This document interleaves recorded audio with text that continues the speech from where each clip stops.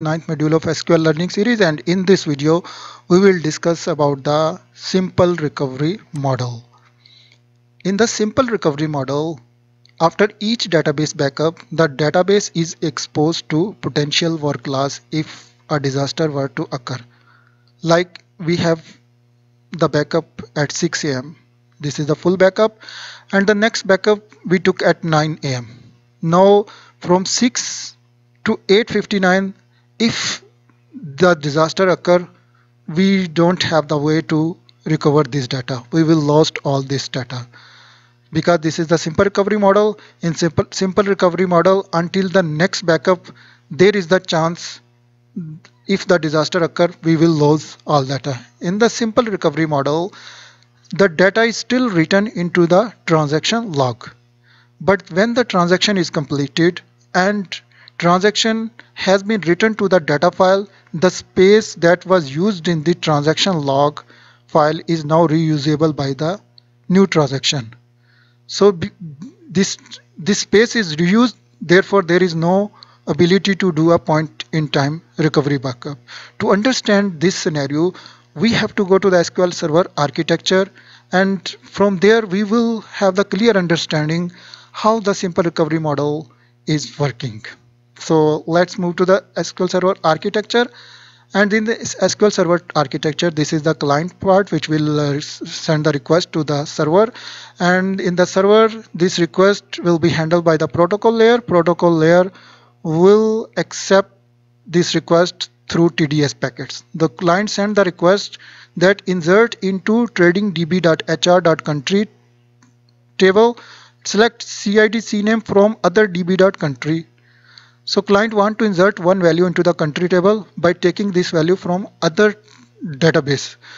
This request will go to the protocol layer through TDS packet and this then this uh, packets will send by the protocol layer to the CDM parser and CDM parser CDM parser when receive the data from the protocol layer it will check the semantic syntax in this uh, request and will make the query tree and then it, it CDM parser will send this to the optimizer and optimizer will optimize the query plan and then it will send this to the query executor and the query executor with the help of storage engine will execute this query and the, the in the storage engine the access method will check the select part of this query which came from the client.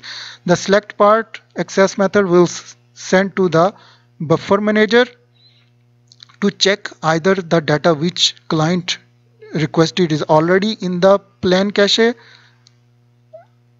this data select CINC uh, ID and C name from the DB country this buffer manager will see into the plan cache. The data is already there or not? No the data is not in the plan cache. Then what the buffer manager will do?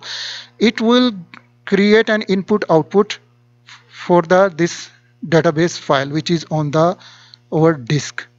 So buffer manager will issue the input output. It will go to take the data from the data file and after taking this data it will come back to the buffer manager and buffer manager will keep the copy in the plan cache. And now the uh, time to insert the data into the country table it will the, go to the transaction manager. Transaction is started by the transaction manager uh, for this uh, request to insert uh, into the country table and the, when this transaction is completed the transaction manager will write this transaction into the log file so this transaction now is written in the log file. This is the log file architecture. The transaction is written here in the log file.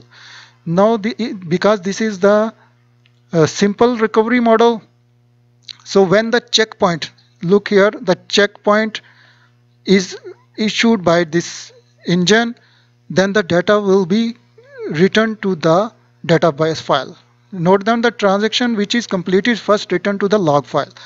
When the this engine will issue the checkpoint then this data which is in the plain, plan cache which is known as a dirty pages is written to the data file. So here the check command is issued by the engine and this data is uh, cleared from here and it is written into the database file. When the data it's written into the database file because this is the simple recovery model so after the data is written in the MDF file it will be cleared from the transaction log. Because data is cleared from the transaction log now this space can be used for other transaction. So there is no point in time recovery in this simple recovery model. Then why we are using this simple recovery model? If that organization data is not critical and can easily be recreated then the we can go to this recovery model. And data is static and no does not change. Also we are choosing if losing any or all the transactions since the last backup is not a problem. Then in these scenarios we can go to the simple recovery model because in the simple recovery model the size of the log is very small. And this model supports the full backup differential backup and full log file level backups. So now to understand the simple recovery model again the this is the backup we took at the 6 am and then we took that 9 am then there is the full backup at 11 am then there is the differential backup at 2 pm then we have the backup at 5 pm this is the full backup. And before taking the next backup unfortunately at 7 pm the system crash occurred there is a disaster. Now the data entered from 5 until 7 it will not be available. We have lost all this data. We have to recreate this data because this is a simple recovery model. So data is point in time. Data recovery is not possible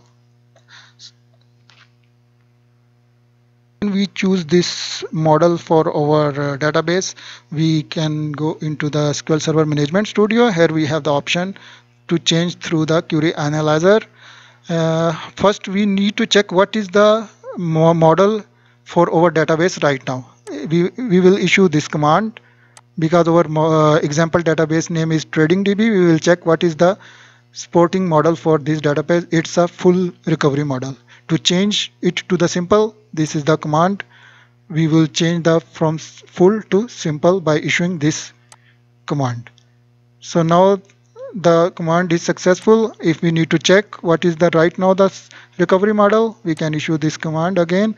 Right now this is the simple recovery model. So we can change through the query analyzer and also we can change through this graphical interface. Right click on the uh, required database and go into the properties and in the properties we have to go into the options. And in the options this is the place where we can change the recovery model. So we can select any one of these recovery model but we cannot select at the same time more than one recovery model